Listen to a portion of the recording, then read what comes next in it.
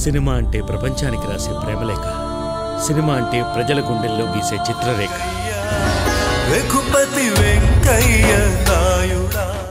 ఈ లైట్ల వెలుగు పడినంత కాలమే ఏ సినిమా వాడైనా వెలుగులో ఉంటాడు. వెంకయ్య రఘుపతి వెంకయ్య నాయుడా. ఏ రోజుకైనా సినిమాయే ఈ సమాజాన్ని మారుస్తుంది. సినిమాయే ఈ ప్రపంచాన్ని శాసిస్తుంది. వెంకయ్య రఘుపతి వెంకయ్య